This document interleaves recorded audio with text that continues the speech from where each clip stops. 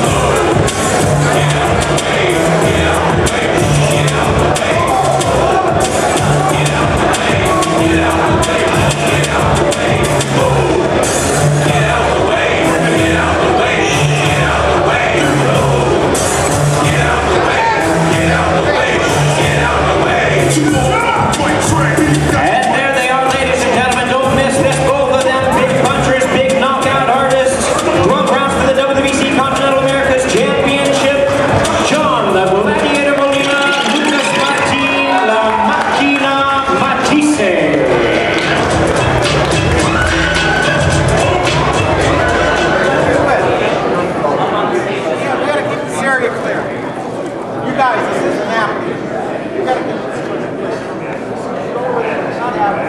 on the cars, knocking guys out. What should we expect from you Saturday night against Lucas Matthysse? Well, heavy hitters, that's what it's called. It's going to be uh, two of the biggest punches at the weight going at it. And uh, I don't expect to take a backward step. I'm sure Matthysse doesn't expect to take a backward step coming after him. You know, he's got, I think, the second best knockout percentage of anyone basically in boxing. How much of that is a concern? Uh, if it was a concern of mine, I wouldn't be in the sport. It's definitely not a concern. We're there to go out there and take care of business. Is there any chinks in the armor, especially after watching him lose to Danny Garcia? I mean, you don't take anything away from him. He's fighting the best in the world. Of course, there's always, he's a man with a pair of fists and a heart just like me, so we're going to get it on Saturday night. Uh, best of luck to him. Thank you very much. Here he is, John Molina.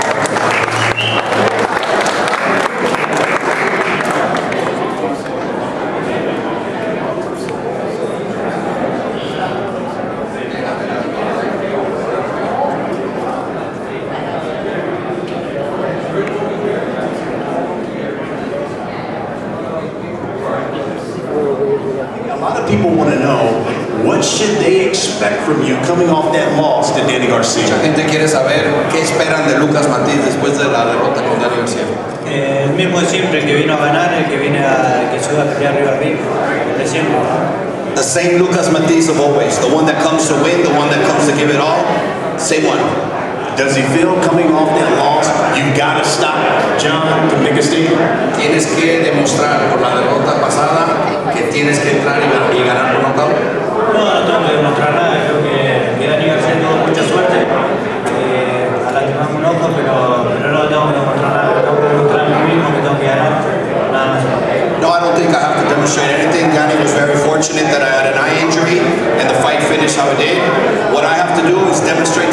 That I have to win tomorrow night. Let's wrap it up with this. Certainly don't want to look past John, but what does Lucas Matthysse say want after this fight? Sin sobreestimar a tu rival en turno,